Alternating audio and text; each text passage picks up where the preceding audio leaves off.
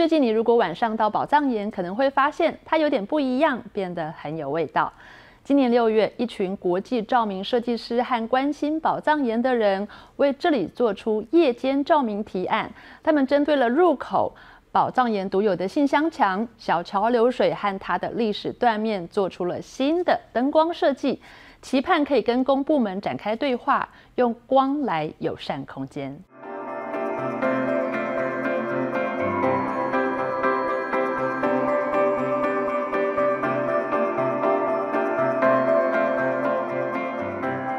我们在观察光的环境的时候，第一个你们都是观察什么？要先看感觉如何。我们到这个广场，你会发觉，啊，那边有停车场，这边呢有一个干妈点，然后那个是一个社区活动中心，所以这个是一个呃活生生的生活空间。三十多位市民和台湾、香港、新加坡的国际照明设计师探访夜晚的宝藏岩，透过与居民互动观察，要用光重新提出宝藏岩夜间环境的特色。宝藏岩对我来讲，它就是我的家乡啊！它对台北市以前叫做一群的违章建筑，可是现在是一个很好的一个聚落文化的保存。本地居民、驻村艺术家和夜晚来参观的访客，对于照明有不同的需求，光影的介入也要和社区建立永续关系。在白天的时候，你看了整个宝藏岩是这样的，对吗？可是晚上你可以用光把不一样的宝藏岩给它呈现出来。